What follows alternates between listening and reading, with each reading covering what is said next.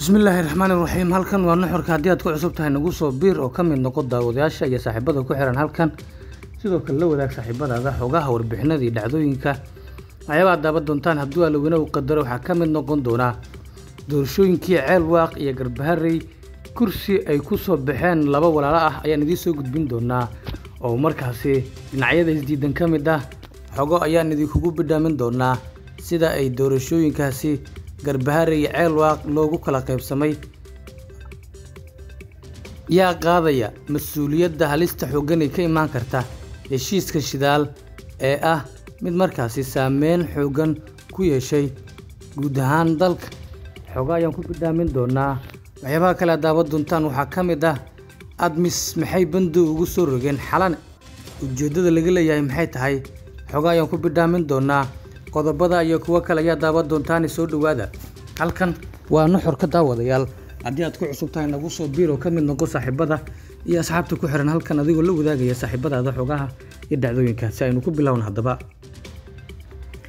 Doorashooyin isdiidan ayaa ka dhacay ceel waaq iyo garbaharey haddaba kursi ayaa waxay ku soo baxeen laba walaalo ah. Arrin aada loola yaabay ayay noqotay markii doorashooyinka ka dhacay gobolka gedo ay ku soo baxeen laba qof oo walaalo ah kuwaasi oo hal kursi u tartamay. Aamine xuseen cali iyo nuur xuseen cali ayaa labadooda u tartamay kursiga hob eber siddeetan iyo toddobo. Labadoodana waxay iska soo kala sharaxeen magaalooyinka ceel waaq iyo garbaharey oo lagu kala qabtay doorashooyin iska soo horjeeda. Doorashadii ka dhacday ceel waaq ee maamulka axmed maxamed islaan madoobe iyo guddida doorashada ee vit ay qabteen ayaa waxaa ku soo baxay aamine xuseen cali. Halka doorashadii kale ee garbaharey ka dhacday uu ku soo baxay aamino walaalkeeda nuur xuseen cali. Kursigan oo qondo ahaan u heshay jufada gasaargude ee beesha raxaweyn ayaa tilmaam cad ka bixinaysa muranka iyo khilaafka xilka.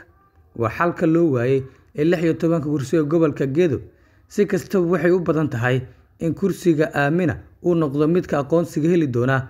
Inkastoo oo weli aysan hubin ama hubneen maadaama ay garab taagan yihiin jubbaland guddida doorashada vit iyo ra'iisul wasaarihii doorashada loo igmaday.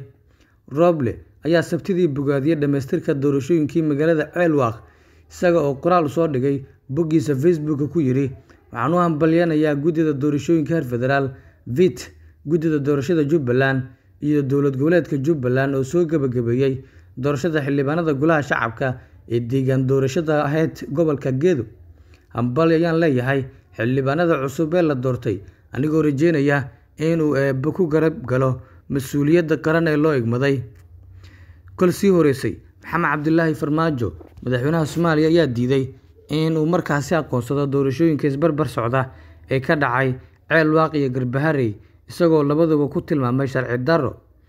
Xogo lagu kalsoon yahay ayaa sheegaya oo aanu helayno in roble uu guddoomiyaha ku-meel gaarka ah ee golaha shacabka cabdisalaan dhabanacad ku cadaadinayo inuu aqbalo natiijada kuraasta lagu qabtay magaalada ceelwaaq si loo dardargeliyo dhaarinta markaasi iyo shahaadasiinta iyo aqoonsisiinta xubnahaasi xildhibaanada ah ee markaasi ceel waaq ka soo galay doorashada. Si kasta ay xaaladda noqoto lix iyo tobankan kursi waxa ay noqdeen muranka ugu weyn ee doorashada federaalk ee soomaaliya hareeyey maadaama maxamed cabdilaahi farmaajo iyo sidoo kale maxamed waa axmed maxamed islaan madoobe ay si weyn iskugu khilaafeen arrimaha ku gadaaman doorashooyinkan. Si kasta oo ay xaaladda noqoto.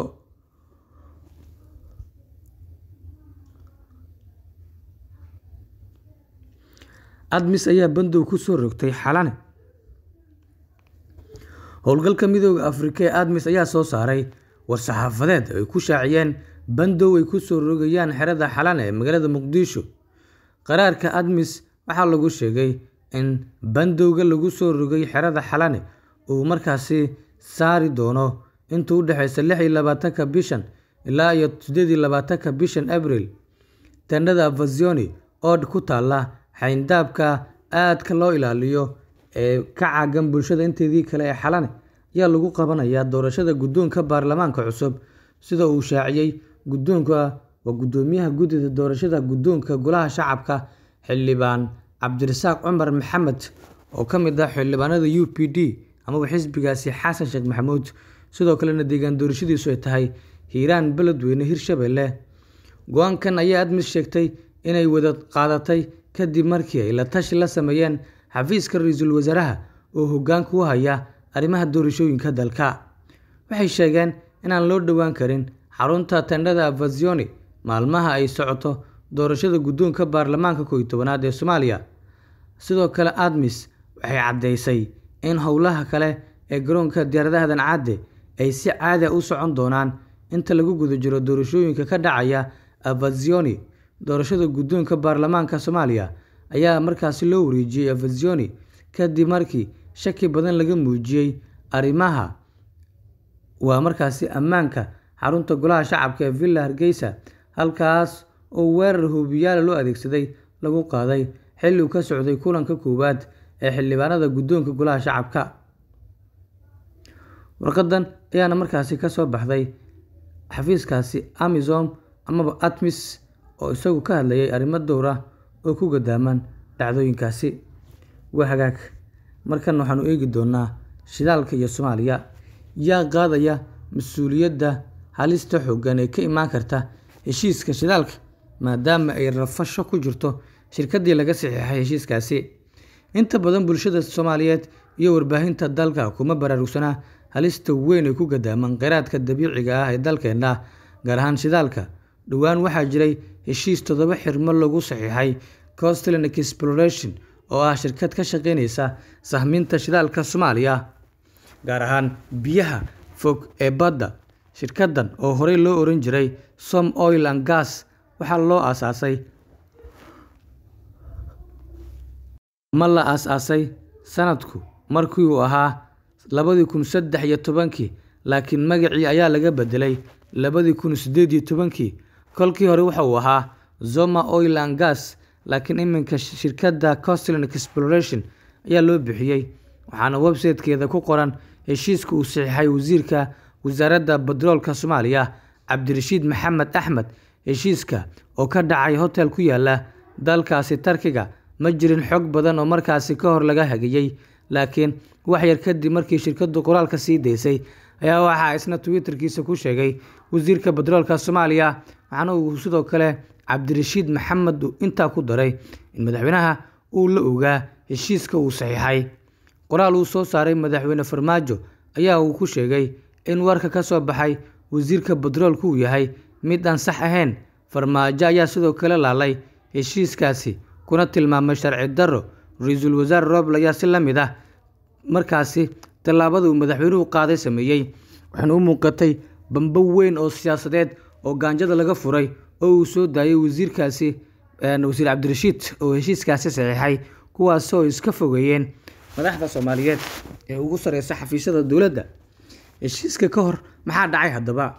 Bishii disembar labaatan labaatan waxaa uu shir ka dhacay dalka tarkiga waxaa shirkaasi ka qaybgalay shan xubnood oo ka socday wasaaradda batroolka iyo madaxda ka socotay hay'adda shidaalka soomaaliya ee somali petrol authority s p a sida ay sheegeen dad shirka ka qaybgalay oo diiday inaan magacooda xigano. Wasiirka qorshaha kuma jirin inuu shirkaasi yimaado laakiin waxa uu tegay tarkiga kadibna waxa uu xubnihii soomaaliya ka socday ee shirka joogay sheegay in uu saxiixo heshiiska. Arrintaasi waxaa ka dhashay khilaaf ugu dambeyn sababay in soomaaliya lagula soo laabto iyadoo aan wax is-afgarad ah laga baran ama markaasi laga gaarin.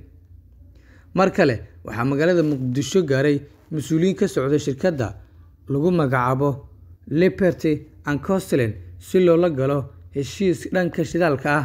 Liberty ayaa qorsheynaysa in loo saxiixo saddex xirmo oo ku yaalla ama ku kala yaalla galmudug iyo jubbaland halka costland exploration loo saxiixi lahaa toddoba xirmo oo ku yaalla amaba ku kala yaalla galmudug koonfur galbeed iyo jubbaland.